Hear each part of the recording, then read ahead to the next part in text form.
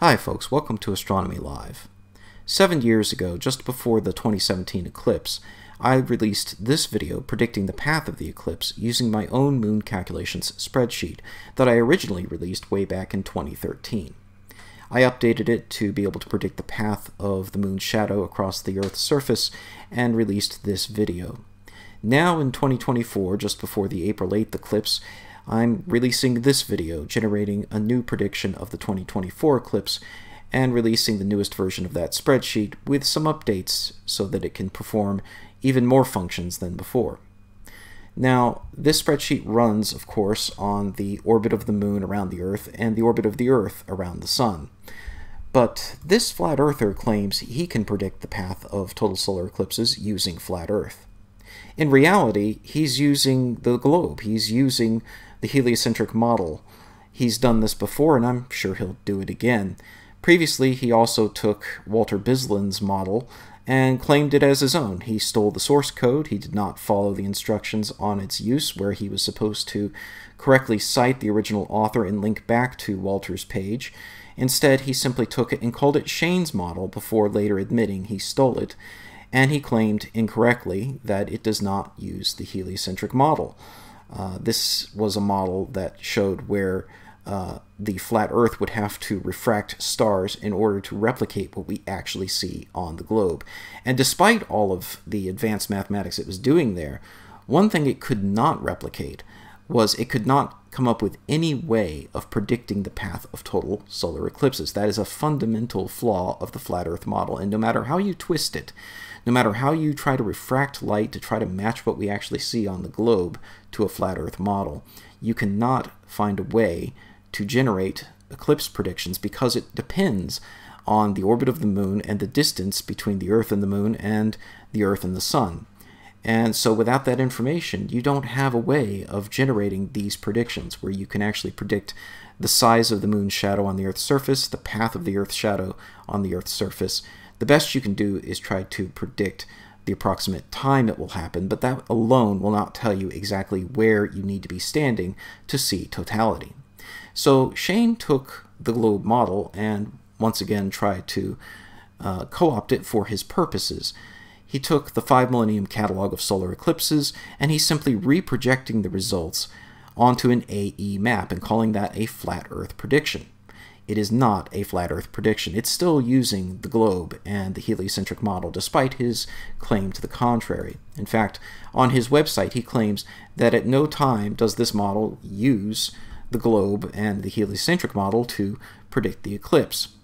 Instead, he claims that it uses cycles of eclipses, essentially, again, making the claim that it is using the Saros cycle, uh, the repetitive timing of eclipses to make the prediction. But that's not how this works, and I'm going to show that with my own spreadsheet.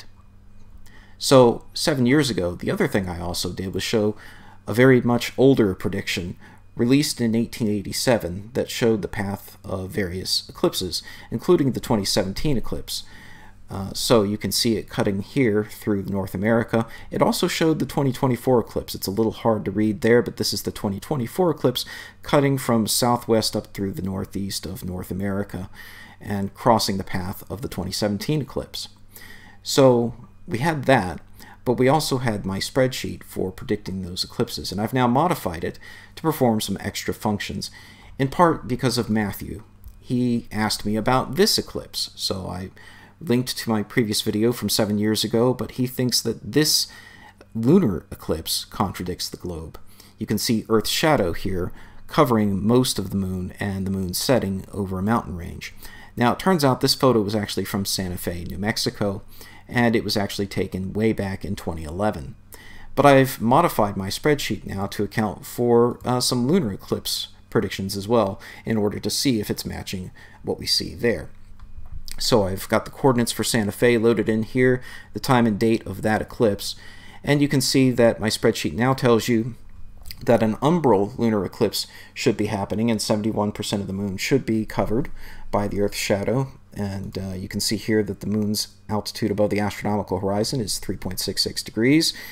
And you can also see Earth's shadow altitude and azimuth. This is very important. So you can see that Earth's shadow has an altitude above the horizon of 4.18 degrees, a little bit higher than the moon. And the azimuth is also just a little bit higher than the moon's azimuth. So up and slightly to the right is what the spreadsheet is actually predicting Earth's shadow to be at relative to the moon. And if we look back at that picture, we can see that's exactly what we see here as the Earth's shadow covers up more and more of the moon. You can tell it's just slightly off to the right. The center of the Earth's shadow would be slightly off to the right of the moon as the moon sets, and it's covering more and more of the moon.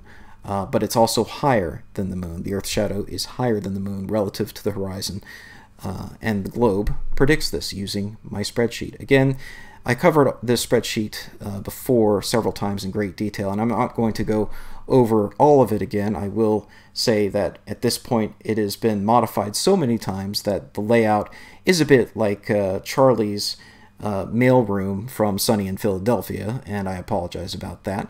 But uh, we're going to go over here what it does and how it calculates the path of solar eclipses because that was something I did seven years ago, and that is something that flat earthers are claiming uh, is not done using the globe. But in fact, uh, my spreadsheet does this. So here we have the 2024 eclipse. We have coordinates set in Texas, and we see that uh, the eclipse is occurring and that it is currently total according to my spreadsheet. So you have to update the time uh, that uh, you have set in order to uh, generate multiple points of the shadow's center point in order to project that onto a map. Uh, and I've done that already, and through the magic of having already done it, we can pull it up here in Google Earth. So again, we have the original 2017 prediction that I generated. That's the same prediction I published seven years ago. And now we have the 2024 prediction cutting up through Mexico, up into Texas, and out through the northeast of North America. So Again, by generating predictions along multiple points in time, we can draw a line through those prediction points and generate an approximate total solar eclipse path. Now, my calculations are a little bit approximate in terms of the shadow's center point. It is this calculation right here assumes that Earth and the Moon are perfectly spherical, which of course is not quite true, but good enough for our purposes. The conditions of the eclipse at the actual observer point are going to be a little bit more accurate, and they're accurate to within a few seconds uh, in terms of uh, the timing of totality. So you can see here the way that this works is that we're predicting the moon's longitude and latitude, we're predicting the diameter of the moon's umbral shadow and also the Earth's umbral shadow, not important for solar eclipses, but uh, important for lunar eclipses that it now uh, provides some data for. We also have uh, the angular diameter of Earth from the moon, and uh, we have the moon's shadow, RA, and Dec direction. So we're actually calculating the celestial coordinates of the moon's shadow as seen from the moon.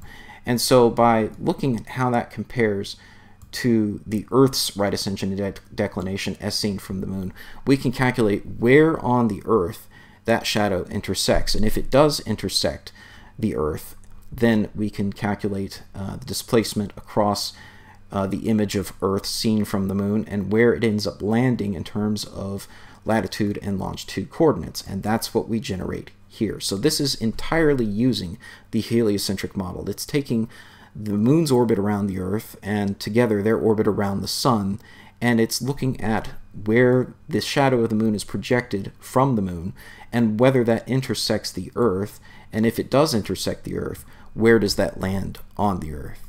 Now, just so you're aware, if it doesn't currently intersect the Earth, as is the case here from the 2011 lunar eclipse, the, the moon shadow is not intersecting the Earth at this time. Some of these are going to result in hashtag num uh, for no valid results because we're, we're not getting an intersection of the moon shadow with the Earth at that time, and that is normal and expected.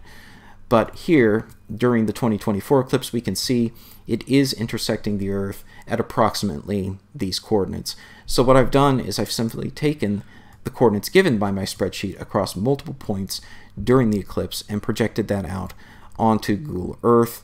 You could project this out onto any map you like, including an AE map, but that does not make it a flat Earth prediction. It is entirely running on the globe. So the link to the spreadsheet will be available in the video description. So check it out, and thanks for watching, and until next time, clear skies.